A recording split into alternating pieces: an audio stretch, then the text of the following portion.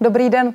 Autoklub České republiky letos slaví 115 let od svého založení a 90. výročí klubového domu v Opletalově ulici. Jedním ze způsobů oslav je i nový šampionát Grand Prix historických vozidel. Jak se dají propojovat dějiny a současnost, aby se ctila tradice a zároveň to byla zábava? O tom bude dnešní téma pro hosty. Naše pozvání přijal prezident Autoklubu České republiky Jan Šťovíček. Dobrý den. Dobrý den a děkuji za pozvání. A je tu i ředitelka slavného závodu z Braslav Jíloviště, Markéta Profeldová. Dobrý den i vám. Dobrý den a také děkuji za pozvání. Pane Šťovíčku, co si tak myslí prezident autoklubu, když se 1. ledna ráno probudí a zjistí, že ho čeká rok, jaký ho čeká? No tak eh, jsou to veliká očekávání. My jsme už slavili ten minulý rok, protože bylo 100 let založení Československé republiky, takže eh, vlastně v tom slavení pokračujeme. Připravili jsme zajímavý program a já jsem se jenom těšil, jak to bude všechno hezky probíhat. Daří se nám eh, spojovat ty tradice se současností. Otevřeli jsme náš klubový dům v Opletelově ulici všem motoristům, včetně samozřejmě těch krásných veteránů a já doufám, že se to lidem líbí. Autoklub eh, má velice široký záběr. My bychom se mohli dlouze bavit o sportovní stránce věci, třeba o společenské odpovědnosti. Určitě by to taky bylo zajímavé, ale eh, určitá výseč je i ta zájmová činnost. Eh, jakou roli vlastně hraje, když to vezmete obecně? To je právě to, na čem my se snažíme navazovat na ty tradice, protože už za první republiky byl autoklub takovou společenskou institucí, která má své pevné místo v naší občanské společnosti. Nejedná se pouze o ten motoristický sport, ať to jsou auta nebo motocykly.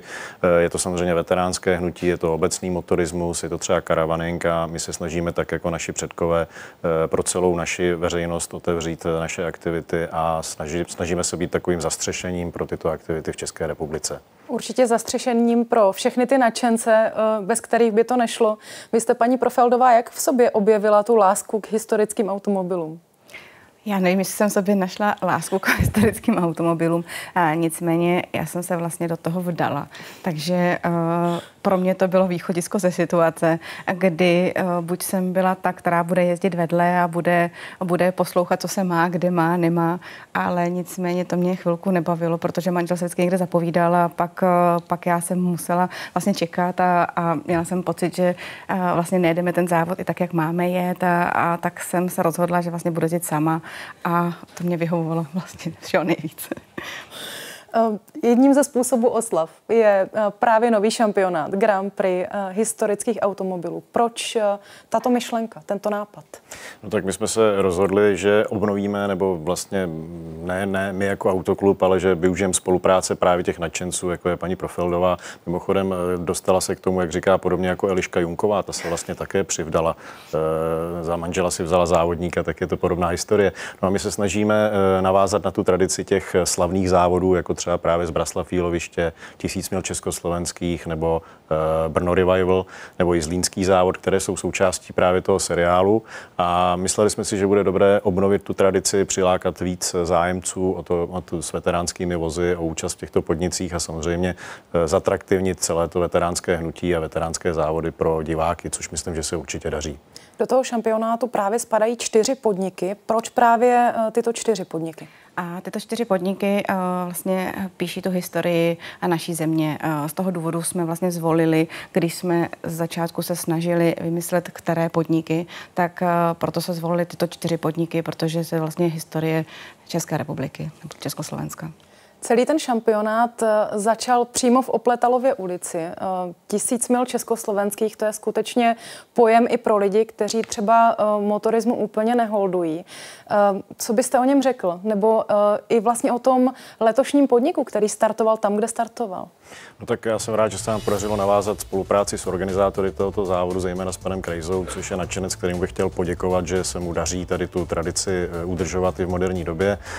Po dlouhé době se podařilo, aby ten závod startoval před budovou Autoklubu České republiky v Opletalově ulici. Já si myslím, že je to moc dobře a chtěl bych za vstřícnost poděkovat i městské části Praha 1. Eh, je to tak, jak to bylo skutečně v těch 30. letech a měli jsme možnost udělat velmi podobné fotografie, které známe z těch 30. let taky letos. To znamená z balkónu našeho klubového domu na ty, na ty krásné veterány, které tam jsou seřazeny a čekají na ten start. Nedokážu si představit, co to všechno musí obnášet, když se rozhodnete 13.6. Eh, uzavřít vlastně část eh, centra Prahy. No je to samozřejmě velice komplikovaná záležitost. Já jsem právě rád, že se nám podařilo se všemi úřady najít společnou řeč. Eh, bylo to tedy na poměrně krátkou dobu, ale stejně to bylo obtížné, ale myslím si, že ten výsledek stál určitě za to. My jsme samozřejmě rádi, že se to povedlo, protože Autoklub neboli Opletalova 29, to je ta nejdůležitější motoristická adresa v České republice a ten závod, prostě ten start toho závodu, stejně jako starty jiných, jiných podniků, například Expedic Zikmunda Honda Hanzelky, to k tomu prostě patří, to je prostě e, veškerý, veškeré tyto expedice by měly od autoklubu odjíždět. Jak to vlastně vnímá řidička? Uh, řidič, řidička, když uh, jede tisíc mil československých v Bugatce, v um, automobilu, který nemá třeba bezpečnostní pásy a rozhodně není tak pohodlný, jako jsou dnešní vozy. A naopak v tom je ta krása. A myslím si, že by si to měl zkusit každý, a si do toho sednout a, a zkusit jet ne celý závod, závod na druhou stranu je náročný. My jsme najeli vlastně skoro 1500 kilometrů a ono sedět v Bugace 1500 kilometrů, myslím si, že kdo to zažil, mi dá zapravdu není nic jednoduchého, ale zase to přináší to štěstí a tu radost toho. Popište to trošku, eh, co to obnáší. Hm. Sedět v Bugatce 1500 kilometrů. Eh, když si do té Bugatky sednu, tak je tam hodně prostoru, málo prostoru, je tam horko, zima. A prostor, prostoru tam není moc, eh, ale je dostatečný vejdu se tam zatím ještě. E, nicméně teplota dosahuje v motorovém prostoru po ujetí řádově 40 km nějakých 70 stupňů. E, odkapává tam olej, plave tam olej. E, myslím si, že kdo viděl mé nohy po absolvování tohoto závodu, viděl hromadu puchýřů, tak, tak to asi asi vše k tomu.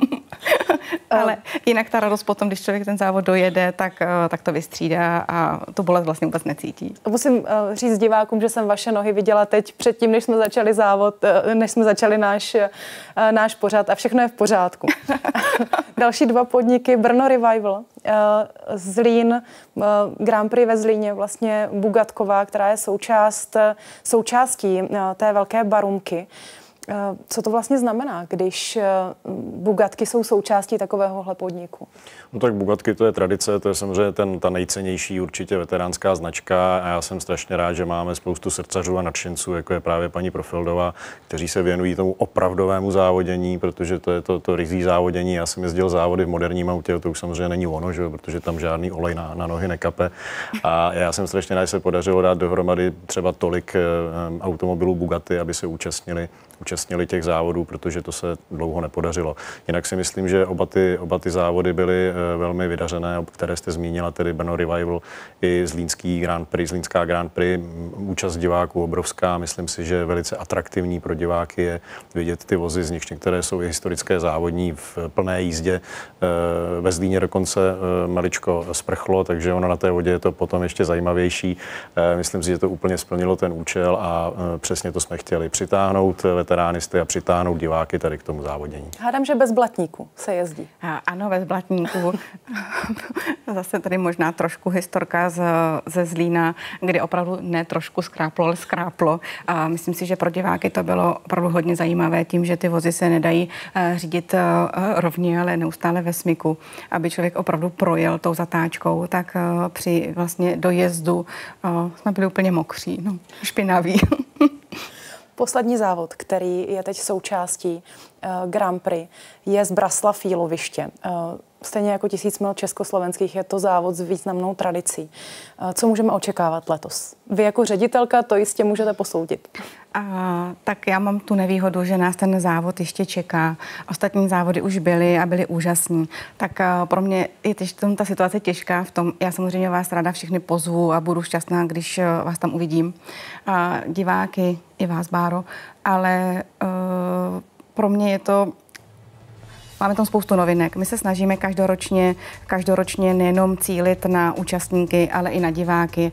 A letos se nám povedlo právě díky spolupráci s Autoklubem Česká republika do toho ještě získat pronajatý zámek, kde vlastně v zámku budou aktivity právě pro nejenom ty na návštěvníky, kteří přijdou obdivovat ty historické automobily, ale i nové závodní automobily a další doprovodný program. První školní sobotu se koná, je to už 52. ročník závodu z Braslav Jíloviště. Vy si, pane Šťovíčku, vyzkoušíte na vlastní kůži taky historický uh, automobil. Pokud vím, tak už jste to zkoušel ve Zlíně. Jak se vám to líbilo? Já už jsem to zkoušel ve Zlíně, líbilo se mi to moc. Byl to ten pravý zážitek z toho závodění a, a zejména na tom mokru, když se jezdilo bokem, jak říká paní Vofelová, to bylo velice zajímavý.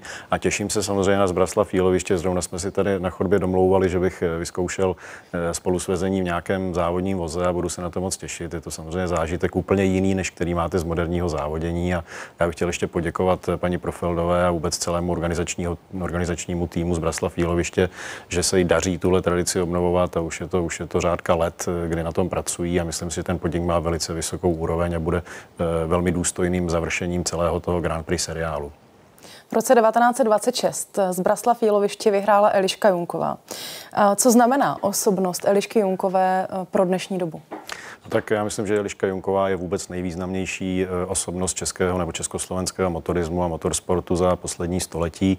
My jsme si tady eh, připravili pro diváky takové, takové upomínkové předměty, třeba brýle Elišky nebo pohár ze závodu Targa Florio který Eliška získala a Myslím si, že je to osobnost, kterou si budeme velmi dlouho připomínat. Pro nás je to e, ikonická osoba a máme e, v, autoklubu k výročí e, právě 90. Otevř, 90. letému výročí otevření klubového domu jsme umístili bystu Elišky Junkové, kterou jsme slavnostně odhalili a myslím si, že to je osobnost, která ještě dlouho bude patřit mezi ty nejvýznamnější, možná i obecně ve veškerém sportu a bude dlouho trvat, než se podaří, aby ji někdo překonal čem je třeba pro vás eh, osobnost Elišky Junkové eh, zajímavá? V čem si myslíte, že může být inspirativní pro dnešní dobu? No tak já si věřím, že ona je jako žena dokázala uh, dosáhnout úspěchu, které nedokázali mnozí slavní závodníci mezi muži a získala si obrovský respekt a um, uznání mezi, mezi muži závodníky nejenom v Čechách nebo v Československu, ale v celém světě. Já si pamatuju, když jsem poprvé přijel na Mezinárodní automobilovou federaci, tak všichni se mě ptali, jestli jsem znal Elišku. To je prostě persona, která byla nezapomenutelná i v tom motoristickém světě a ona dokázala hovořit asi sedmi jazyky velmi plyně, takže s každým si dokázala dobře komunikovat a přestože byla maličká, tak eh, všichni věděli, že to je veliká osobnost. Ta osobnost ženy v dnešním motoristickém sportu, nebo pokud tady mluvíme o historických automobilech, je pořád něčím mimořádným? Kolik vás tam eh, je žen? paní Profeldová? Moc jich tam není, ale najdou se. Já si myslím, že na druhou stranu zastoupení žen eh, opravdu není velké, ale, ale je. Ale já bych jenom ráda k té uh, Elišce Junkové ještě možná prozradila takové malé překvapení, co bude na letošním závodu z Braslav Jíloviště.